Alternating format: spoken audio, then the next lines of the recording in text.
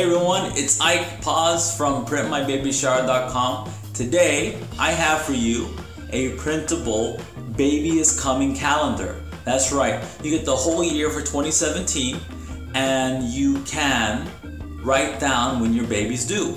Not only that, each month comes with an inspirational baby quote.